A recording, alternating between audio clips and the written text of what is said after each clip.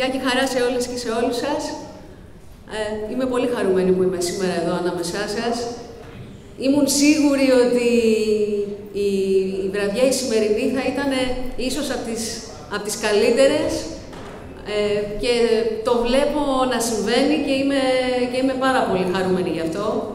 Ίσως θέλει το ότι, ε, το ότι η καταγωγή μου κατά το ίμιση είναι από εδώ, είναι η μαμά μου από την Κοκκινιά. Έχω ακόμα... Να, εκείνη είναι, εκείνη, εκείνη. Ε, και ακόμα έχω τις αναμνήσεις και τις μυρωδιές και τα αρώματα από την Οσία Ξένη, που όταν ερχόμουν μαζί τη γιαγιά μου εδώ για να δει τις καλές της φιλενάδες. Χαίρομαι λοιπόν πάρα πολύ που είμαι εδώ σήμερα ανάμεσά σας. Κάναμε μια εξαιρετική περιοδία ε, εδώ με τους, ε, με τους συντρόφους, τους υποψηφίους. Ε, την Εύη την Καρακώστα που μας βοήθησε πάρα πολύ σε αυτό και την ευχαριστούμε πάρα πολύ. Και επιτρέψτε μου τώρα να σας συστηθώ, γιατί ενδεχομένως κάποιοι και κάποιες από εσάς να με ξέρετε, ε, κάποιοι και κάποιες από εσάς ενδεχομένως να με ξέρετε, συνεπώς πρέπει να σας συστηθώ. Ονομάζομαι Εραλία Χριστίδου, ε, δραστηριοποιούμε στον α, καλλιτεχνικό χώρο εδώ και 15 χρόνια, τα τελευταία 15 χρόνια. Εργάζομαι από 18 ετών στον ιδιωτικό τομέα. Είμαι πτυχιούχος κλασικής κιθάρας, έχω κάνει σπουδές στα ανώτερα θεωρητικά.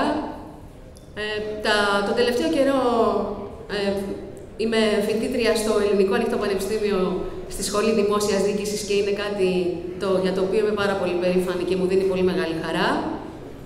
Ανήκω στο ΣΥΡΙΖΑ από το 2011, είμαι στην οργάνωση μελών του Νέου Ηρακλείου και είμαι υποψήφια Ευρωβουλεύτρια για τις ε, εκλογές της 26 του Μάη. Γι' αυτό το σκοπό θα ήθελα να σας πω τους λόγους που δέχτηκα να είμαι σε αυτό το ψηφοδέλτιο και για τους λόγους για τους οποίους δεν ε, ανήκω σε εκείνες και σε εκείνους που μέχρι και σήμερα ε, λένε ότι ενδεχομένως ε, απογοητεύτηκαν από το ΣΥΡΙΖΑ. Ε, αντιθέτως, είμαι πολύ περήφανη που είμαι στο ΣΥΡΙΖΑ και θέλω να μοιραστώ αυτούς τους λόγους πολύ γρήγορα μαζί σας. Θυμάμαι ότι οι εκλογές του Σεπτέμβρη, και γιατί αναφέρω τις εκλογές του Σεπτέμβρη, γιατί τώρα ε, εδώ, σε αυτές τις εκλογές, δεν είναι η πρώτη φορά που είμαι υποψήφια, είναι η δεύτερη φορά. Τις πρώτες, την πρώτη φορά ήμουνα υποψήφια στις εκλογές του Σεπτέμβρη του 2015 σε μία εκλογή θέση μου, δηλαδή υποψήφια στη θέση και 22 επί 48 και ε, δέχτηκα να, να εκτεθώ ε, μέσα και έξω από εισαγωγικά και να πω ανοιχτά και δημόσια ε, την στήριξη μου, να δηλώσω τη στήριξη μου στο ΣΥΡΙΖΑ, πολύ απλά γιατί η Αγία μου η Ραλία μου έλεγε ότι αν πιστεύεις σε κάτι, να μην φοβάσαι, ε, να το μοιράζεσαι με όλους και με όλους εκείνους που σε ξέρουν.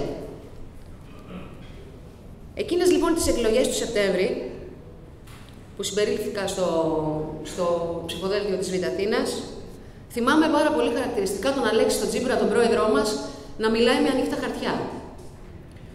Τον θυμάμαι πολύ χαρακτηριστικά να λέει για μια επώδυνη συμφωνία, τον θυμάμαι να λέει για εμπροστοβαρές δημοσιονομικό πρόγραμμα, τον θυμάμαι να λέει ότι η κατάσταση ήταν πάρα πολύ δύσκολη.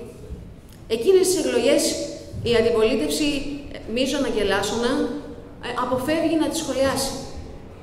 Κάνει σαν να μην συνέβησαν ποτέ. Έχει μείνει στις εκλογές του Γενάρη. Μας μιλούσε για, και μιλάει ακόμα, για τρίτο αχρίαστο μνημόνιο. Ας θυμηθούμε λοιπόν, ήταν όντως αυτό το, το μνημόνιο αχρίαστο. Γιατί θυμάμαι επίσης πάρα πολύ καλά ότι Εκείνη την εποχή, όταν ανέλαβε δηλαδή ο ΣΥΡΙΖΑ, η χώρα ήταν στον αέρα, ο λαός ήταν στον αέρα, υπήρχε έλλειμμα 500 εκατομμύρια, δεν υπήρχε δυνατότητα να πληρωθούν μισθοί και συντάξεις. Η χώρα είχε υποχρεώσεις μέχρι και τώρα, μέχρι και το 2019, 80 δις ευρώ, 50 δις για το κοχρεολύσια και 30 δις για τόκους. Συνεπώς, από πού προέκυπτε το τρίτο αχρίαστο μνημόνιο; Από πού προέκυπτε το, το μνημόνιο του ΣΥΡΙΖΑ; Μήπως πολύ απλά ήταν μια πολύ καλωστημένη παγίδα; Για το ΣΥΡΙΖΑ που σε τελική ανάλυση έπεσε η ίδια η χώρα μέσα. Τώρα λοιπόν επειδή εχθές κιόλας ήμουνα ιδιαίτερα συγκινημένη και πάρα πολύ χαρούμενη με τα, με τα μέτρα που εξήγηλε ο Πρωθυπουργός και το Οικονομικό Επιτελείο, τώρα όντως το δίκαιο γίνεται πράξη. Ένας, ένας, οι νόμοι των μνημονίων, ένα, δύο και του τρίτου αχρίαστου, μέσα σε εισαγωγικά μνημονίου, αρχίζουν να ξυλώνονται. Αρχίζουν να ξυλώνονται.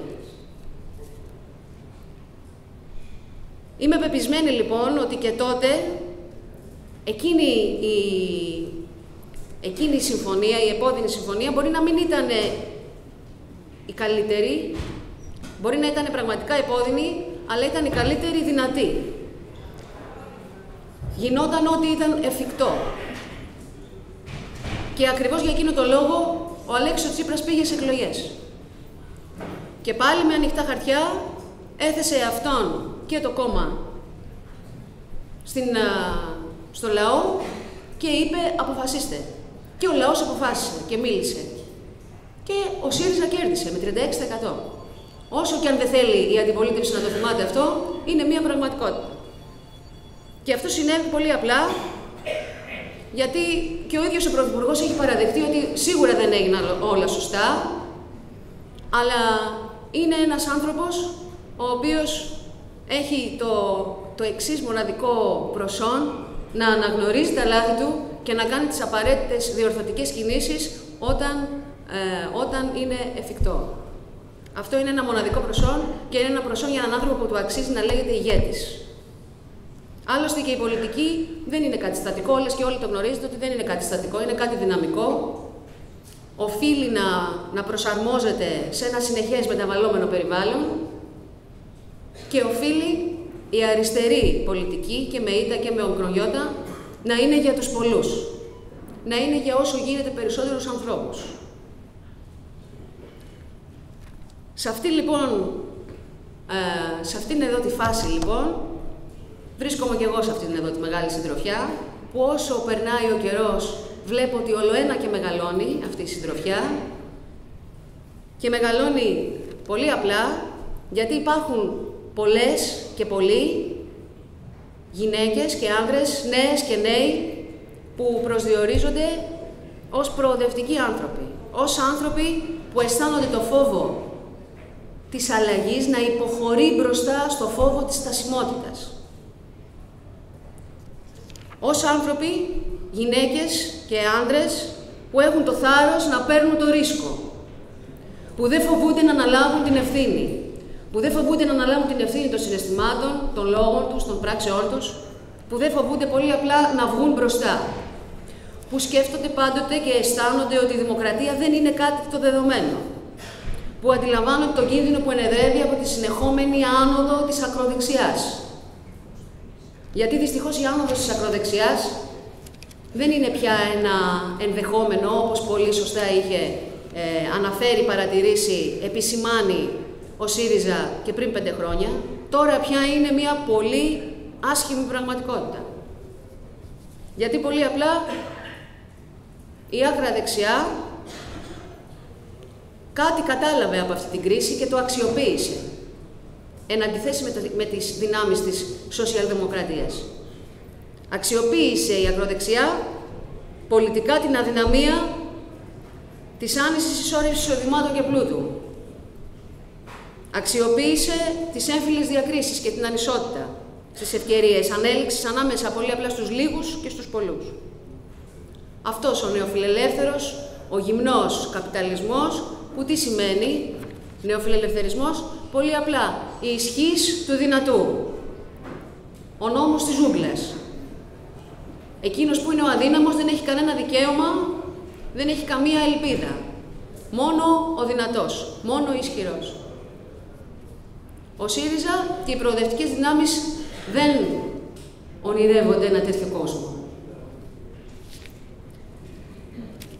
Οι αιμονές αυτές της νεοφιλελεύθερης οικονομίας για τη διαρκή ενίσχυση της κερδοφορίας του κεφαλαίου σε βάρος της εργασίας.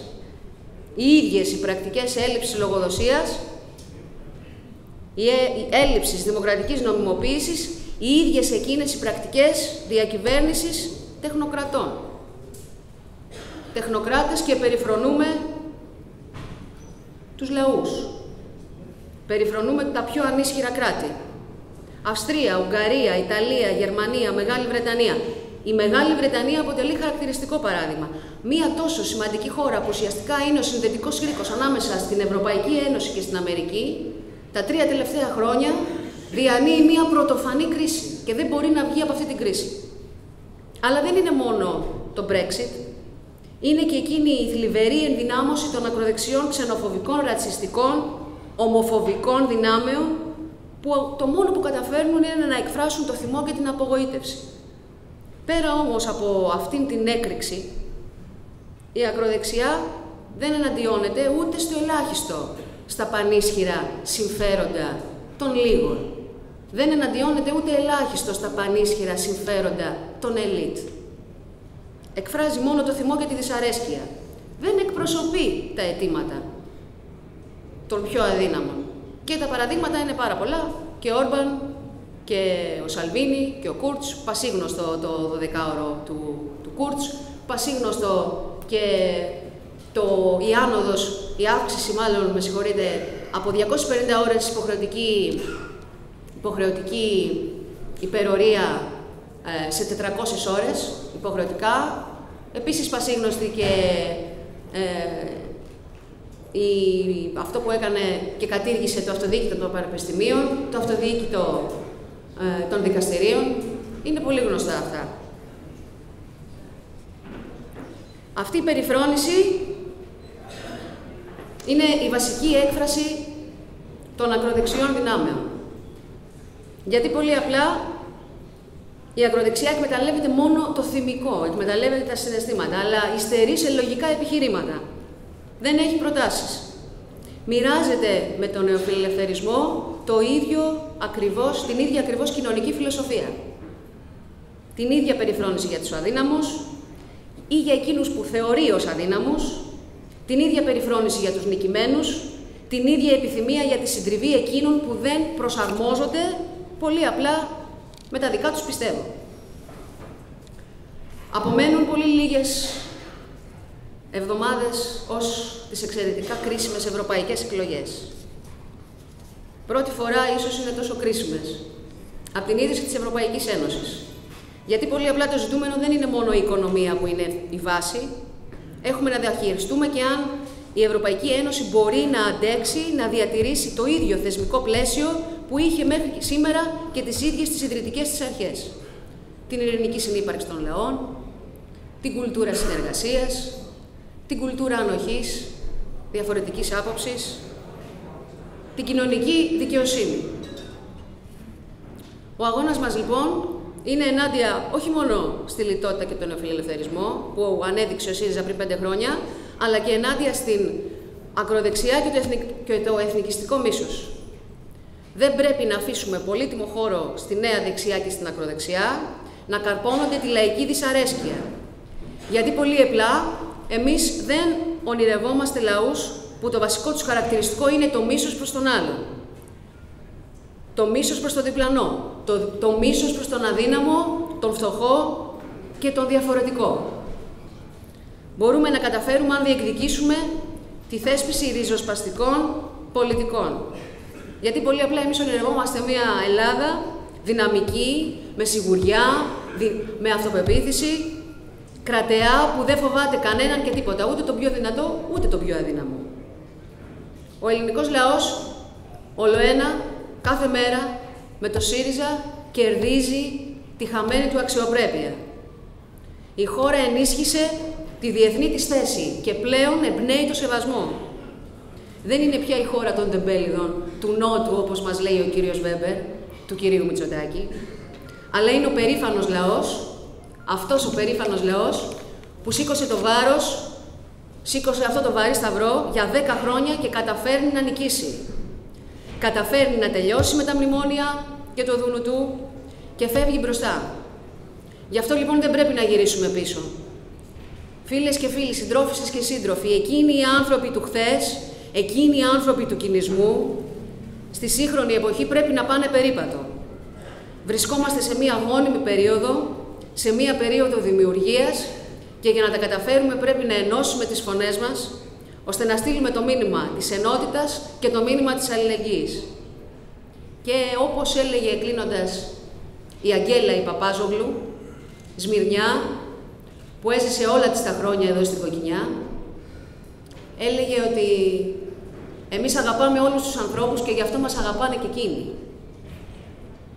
Και με την καρδιά μας ελεύθερη, το μήνυμα αυτό, το μήνυμα της νίκης του ΣΥΡΙΖΑ στις 26 του Μάη, θα φτάσει πέρα μακριά, πολύ μακριά, σε ολόκληρη την Ευρώπη. Σας ευχαριστώ πολύ.